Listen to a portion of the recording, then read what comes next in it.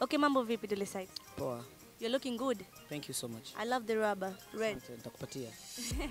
Okay, nimeona kwenye msiki sasa hivi huonekani kabisa. Mm. What's the problem? Ndio leo sasa nimekuja kutoa wimbo wangu mpya. Okay, unaitwaje maybe? Naanzaje? Nimemshirikisha Maua sana. Okay, tumeona platforms uko katika unashirikiana tu platform tofauti wenye lebo kubwa kubwa. Mm. Lakini wewe uta, una dream yote kuona lebo baadaye? Yeah, December inshallah naleta lebo yangu ya Misifas. Yeah. Okay, kuna tofauti ya mziki wako na mziki wa watu wengine.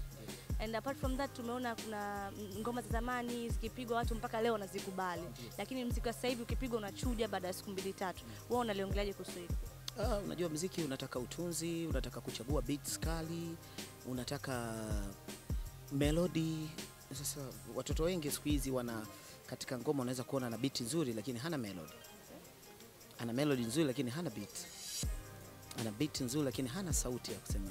Unajua kuna hivyo vitu lakini inabidi upate kila kitu kiwe proper. Yani beat hivyo. uh. Okay, kuna tunaona watu wengi wanapata endorsement, ma deals makubwa makubwa. Kwa upande wako hatujasikia chochote, tutegemee karibuni kama kuna deal ambayo tayari ushakuwa signed ama kuna nini?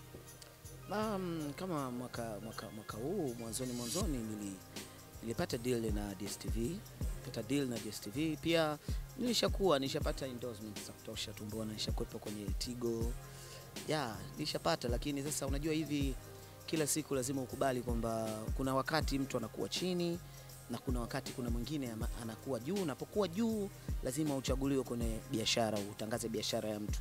Kwa hiyo nafikiri sasa hivi nimerudi tena, basi inshallah naweza nikapata endorsement.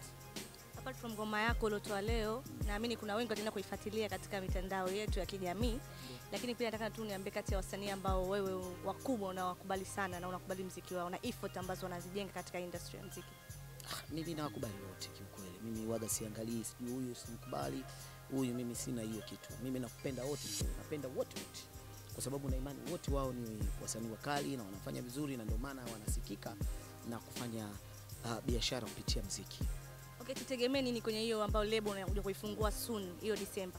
Mm, vitu vingi kwa sababu tayari na msanii wangu ambaye ni huyu eh, Komi, lakini pia bado nina wasanii wengine ambao nina, nina plan kuwa, kuwa, kuwa, kuwa nani kuwachukua Katika mavazi yako siku zote nakuona unakuja tofauti tofauti sana.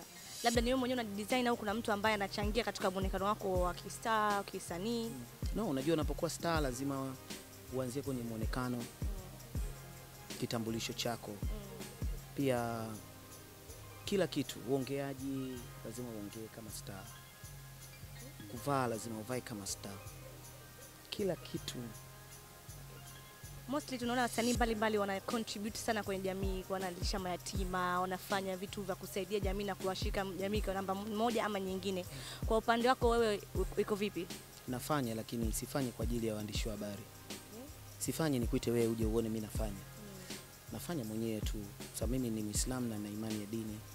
Dini yetu inasema lazima utoe sadaka na sadaka ina, inaenda kwa yatima na watu wasiojiweza. Kwa hiyo mimi huwa nafanyaga hivyo mm.